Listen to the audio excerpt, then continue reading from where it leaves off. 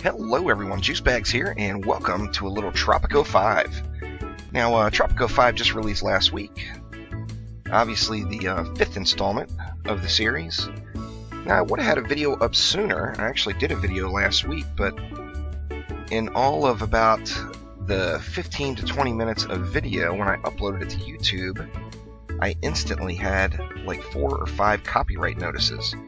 So rather than jump through all the hoops on the copyright notices for the music for Tropico 5, I'm just going to go ahead and uh, silence out that music and add in a bit of my own thanks to uh, Incompetech.com and Kevin MacLeod. So we're going to be using some of his uh, reggae mix-ups.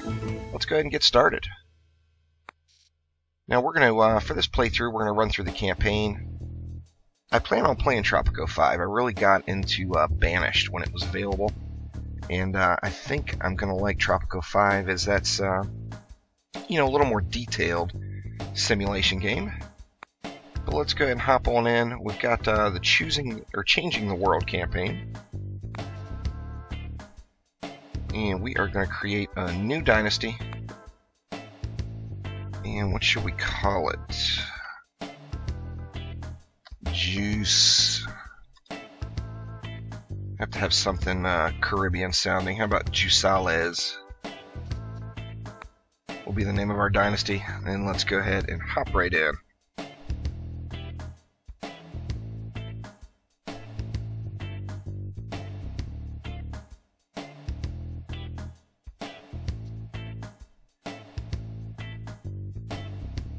Alright, now here is our character selection, and we're going to go with a male. Alonzo. Agador, Abel, Aiden, Adolfo. How about Alberto? Alberto! Now, with the uh, character customization, a lot of it seems to not really matter except for the skill. Uh, the various skills, of course, uh, we got Celebrity, Cheapskate, Environmentalist, reduces pollution, financier, whatever, 200 annual income, a foreman, general, administrator, service building construction costs decreased by 10%, agent, text hidden roles faster, agitator, altruist, 2000 bonus starting money. Now that one, uh, since the game is really all about the money, that one seems very tempting. However, I am not going to take that route. Any celebrity. I think celebrity is the way to go. Foreign aid increased by 10%. It seems like that one should help out. And Caucasian. We want a Latino. We'll check out the various faces. That one looks solid. Alright, now what is our homie gonna wear? Cold War. I think Dictator is uh, the natural route for my first playthrough as El Presidente. And the main color there's got to be something orange. There we go, tropical orange. Mango yellow. That's a little too bright. Grass green, ocean blue. I think we're going to go with I think champagne is the one I like the best. Long hair, afro, corn rolls. That's bad. That's just bad. Comb over. There we go. Let's go with the hobo look. Hair color, brunette, violet red. It's awfully purplish for the red. Lang, let's go with white hair. He's uh, going to be a older El Presidente, and he needs a hat. The fedora, the fedora looks hot, but I'm not going to take that route. You know, baseball cap, biker helmet, cowboy. I like cowboy. Little top hat, colonial hat. I think we're going to go with the cowboy. It's a lovely hat selection. And what kind of accessory? Oh, we need some glasses. We got the Lennon. Movie star. Classy. Aviator, Cyclop. We're gonna have to go with the fashion. He looks just stupid enough for me to play. Fantastic. Alright, let's get this thing started. You know those people who established dynasties so powerful that their names echo through the centuries? I'm one of them. New world, new opportunities, no limits. I'm hoping that This this, music doesn't show up as copyrighted. Because I couldn't void this out since it's a cutscene. heaven. The fields reaching the If so, I'm gonna have to edit this portion of the clip out. Hopefully not. Or it could be a production powerhouse with chimneys reaching the sky and docks busy with all sorts of exotic goods. But we're gonna have some busy docks. You Or it could that. be the paradise on earth. A magnet for travelers from all over the world. A place for fiesta and fun. See, I've got mixed emotions here. I don't know what I'm gonna do. I'll save that for the sandbox, but I think I'm gonna have to create some kind dirt poor piece of land in the really awesome uh, little resort getaway. Yo yo, the governor has arrived. Alright, we're gonna leave it at the defaults for my first playthrough here. So we got medium, medium, disasters occasional. Let's see, do we want to uh, be on Cayo de Fortuna or Bao Bao? I think we're gonna go with Cayo de Fortuna to start. And let's go ahead and get things moving here. Ah, the Caribbean. A lush and untamed land. My new home. Beautiful and full of promise. A new beginning, far from the politics of the old world. That's a what I'm chance saying. to start fresh and do things my way. My way I'm or the tired of highway. weather and rigid thinking back home. I need a change. I was appointed governor of this island. Not that anyone else wanted the job anyway. My unique approach to government will make this colony the most prosperous in the Caribbean. You betcha. How hard can it be? You just need some planks, a few nails, and a trusty advisor to shout at. Alright, a new dawn. Welcome to the Caribbean, Governor. What's Allow me to introduce Oaksworth? myself, Lord Oaksworth, His Majesty's emissary to the region.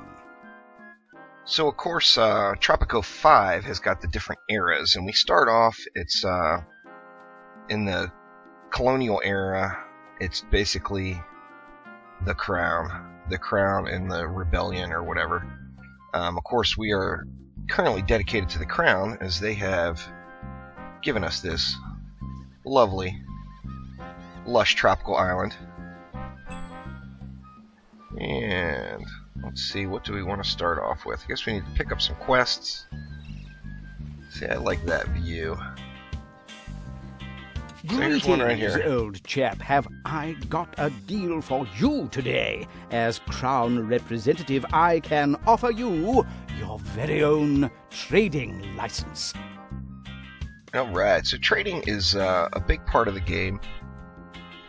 Of course, the more you can trade and the best trade deals you can arrange, the more cash you're going to have. And cash is king. It uh, will buy your way out of all sorts of problems.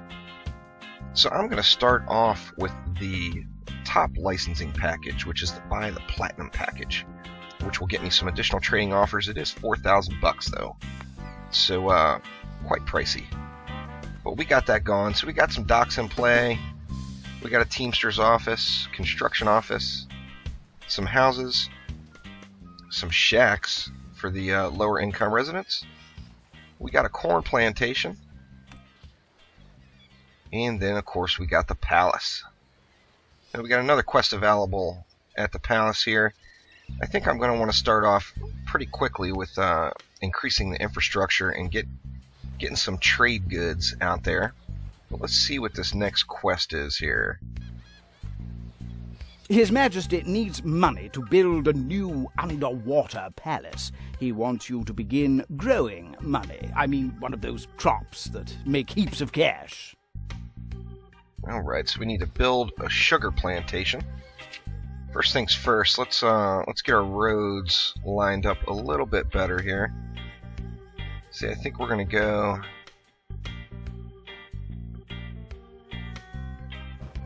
We'll just go straight out like that for now, and then want to make sure that everything is uh, kind of connected up properly. So we need to put in. We've got a plantation right now.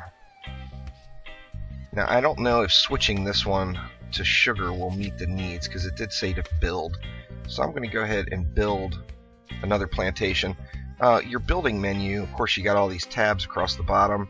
Uh, plantation, I know, is under raw resources. So that's that second tab over there. And then if you notice the arrow coming out of the front of the plantation, that signifies that that arrow needs to be attached to a road. Then, of course, the graph. The greener the graph, the more productivity of the plantation. We'll get that bad boy set in right there.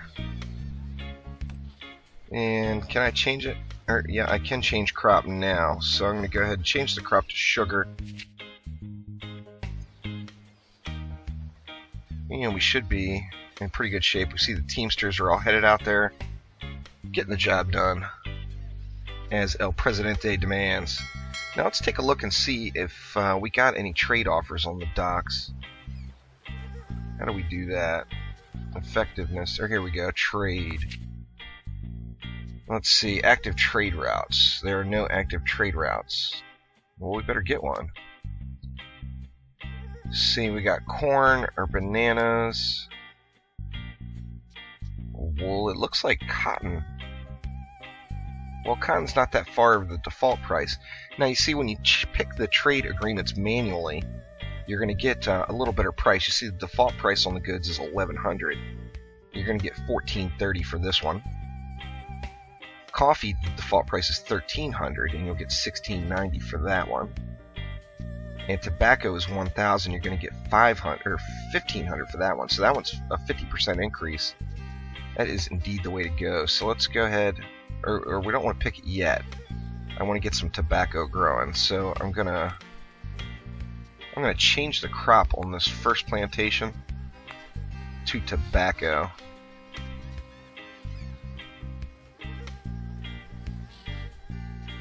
And it's actually a, not a great uh, area for tobacco, huh?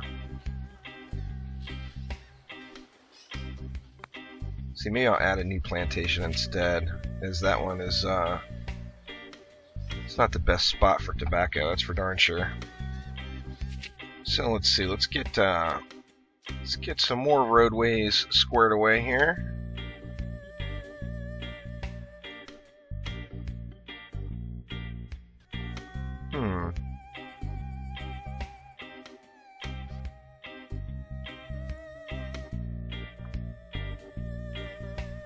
That's weird. It doesn't want to build right there for some reason. That's alright. Now, where is going to be the best route for tobacco? You know what? Let's just, uh, let's get several roads in play here. See, I know I'm going to want to connect that one over to there. Then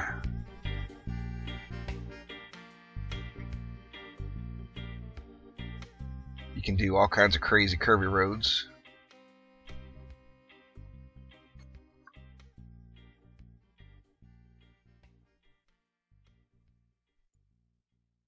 Let's see, we want a road right back down the back side of the palace.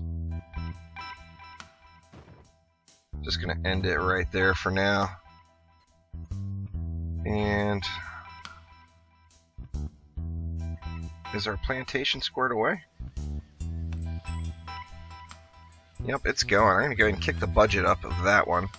Um, of course, the more budget you spend in there, the higher the workers are paid, and the more overall productivity of that plantation. See, and we got another quest. I want to get this tobacco in, though. See if uh, behind... See, it doesn't like going right across there either.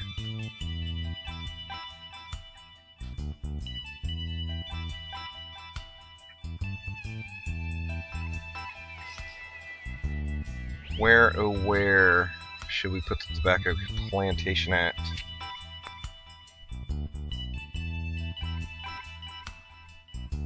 Guess we could put it right out here and check, uh, check the productivity there.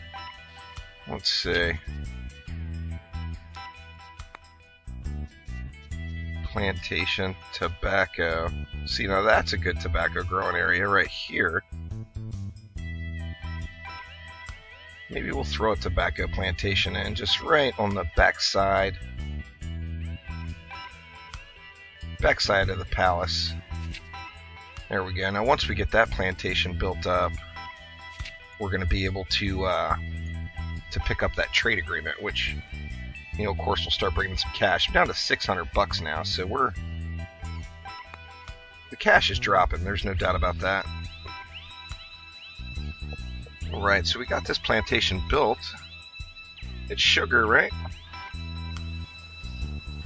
No, it's saying it's banana. What the hell? I want sugar.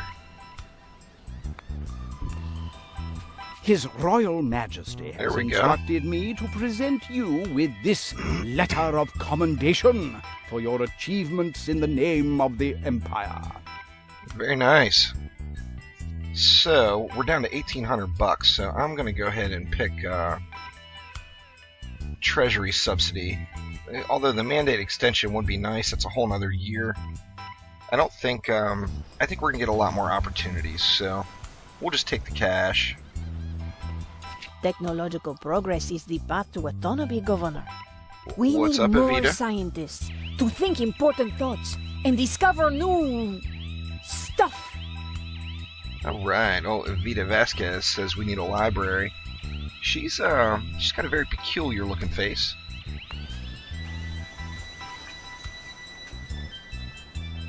Let's see. Is this uh? Let's increase the productivity of our tobacco plant. And we've got tobacco now, so let's pick up this trade agreement. Move the world. We rule in secret. We are the salvation Declare of mankind. We are the order. I'm not ready to declare independence quite yet. Let's see. Let's uh let's see if we can pick up that tobacco trade agreement. 1500. Let's add a ship. And we got old Bessie on task. Very nice. so now we should should start picking up some cash for the tobacco. Now we need to uh, put in a library. And where would that be? tourism, welfare, and media research and education. There we go. And where do we want our library to be? I think thinking we should put it right next to the palace. But let's see, how do we want the library facing?